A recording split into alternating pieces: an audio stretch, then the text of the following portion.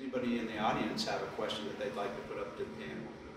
Go ahead, speak up. You know, Jesse, you talked about it, it takes all of us. Um, one thing that's frustrating to me, I'm in healthcare, is that, we've all probably had it in our industry where your competition goes through a breach. Makes the paper, it's embarrassing, costs a lot of money, data or finances are gone. And then the first question we all ask is, how did it happen? You know, seemingly it's a, you know, same size, maybe it's a little bigger, smaller. You ask, how did it happen? And in this country, we talk about it's all of us, but there's a gap because we never find out how it happened because of embarrassment or litigation. I, I just wonder from the panel, how do we close that gap where we can learn about how others got infiltrated instead of us being sitting ducks and just trying to do the right thing? We just don't learn from each other. And I just wonder what, what, what the take is there, and if maybe nationally some of our leaders, leadership provide amnesty or forgiveness for that for litigation and that sort of thing, just for sharing information. I think it's a really good question, right? So again, bad guys communicate well. Uh, if they bust open a door, you know, they'll they'll sell access to that door, and if there's a vulnerability identified, they're sharing that vulnerability, right? And us as organizations, we're not we're not sharing that information. So kind of infosec sharing, infosec collaboration. Know, how can how can we combat that and get better as a IT or cyber community?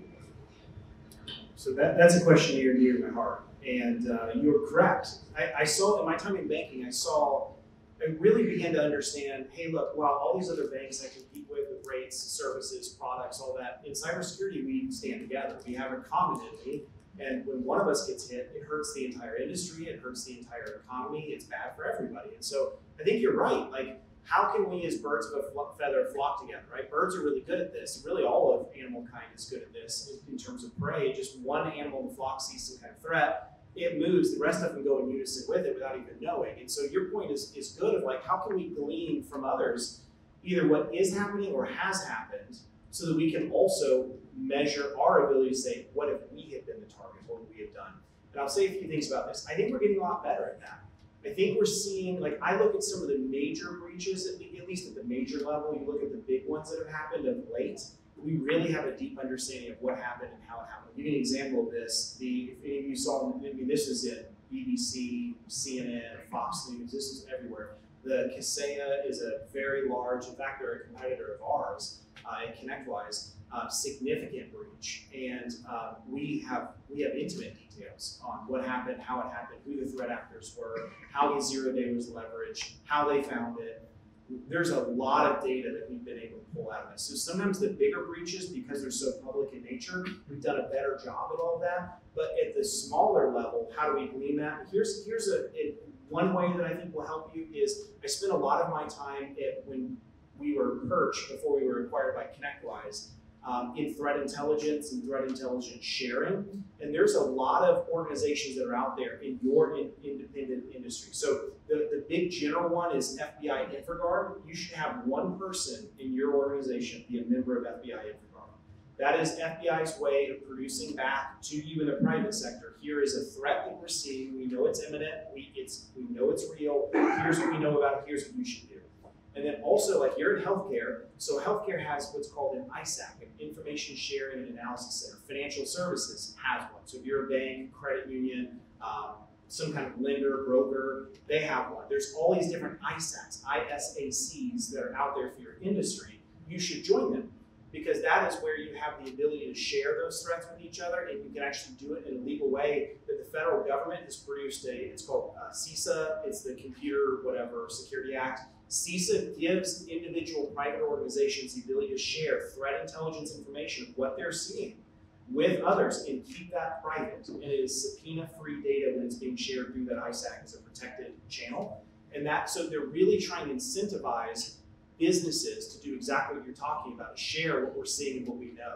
And I, I saw that in my banking days. Is anyone in here a bank or some kind of financial any of you in, in FSISAC? You are? So you could come up and speak to this. I won't put you on the spot, but, but they could, you could come, Amber could come in. Is it Amber? Ashley, good, my eyes are not so great. Ashley could come up and share. FSISAC is producing all this intelligence, what's happening around me, and it lets my financial institution be better prepared. So that's what I would say. I would just touch on one of, one of the items, uh, from, again, from the insurance perspective, insurance companies want to be aligned with your risk, right? So if you've already had a breach, the insurance company wants to make sure that you're not gonna get breached again. Um, that's just more money out of their pocket paying for your expenses, uh, and whatnot. So a lot of insurance companies, eh, first of all, all insurance policies in the cyber insurance world are, they're completely different. The coverages are worded differently, it's very confusing, that's why you need to talk to your agent broker, make sure you have the right coverage. But the good insurance companies have what's called post-breach remediation costs. And really what that is, is it- it's a bucket of money that you can use to, to, to bring in a third-party IT consultant that's gonna go in there and see exactly what happened. And they're gonna patch it up, they're gonna make recommendations on what you can do to make sure that that doesn't happen again. Because again, the insurance company doesn't want to pay another claim two months from now because that hole, that vulnerability was, was accessed again. Sometimes these bad actors stay in your system for six months, twelve months, eighteen months, uh, and they don't they don't patch. You know, they're, they're good at uh, fixing you know or covering the traces, but you know the insurance company doesn't want you to get hacked again. So uh, using those resources that are available to you, you know, working with your agent and broker, working with the insurance company to make sure you have those resources um, is very key to, to that type of situation.